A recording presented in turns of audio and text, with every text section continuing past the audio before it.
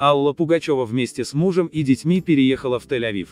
Звездная семья, судя по всему, обустроилась и теперь наслаждается досугом за границей. Примадонна не только сама посещает различные мероприятия, но и берет с собой сына. Накануне Алла Пугачева посетила выставку, на которую взяла с собой девятилетнего Гарри. Компанию им составил Андрей Макаревич, к слову, музыкант и организовал мероприятие в галерее. За последние несколько месяцев Примадонна не раз была на концертах лидера машины времени. Как известно, в Израиле певица не скучает, а активно ходит на светские тусовки.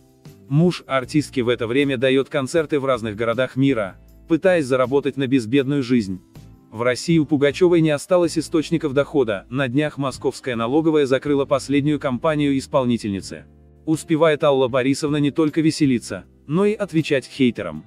Недавно звезда эстрады не выдержала и буквально обматерила тех, кто поливает ее грязью. Меня многие спрашивают, каким образом я выношу заказную травлю нашей семьи, как, а вот так. Это вид из моего окна. Декабрьское небо над землей обетованной. Смотрю на небо и говорю, Господи, прости этих жалких продажных тварей, лицемеров и лжецов, ибо не ведают они, что творят. Вот и все. Всем привет. Писала 73-летняя Пугачева, делясь кадром из Израиля.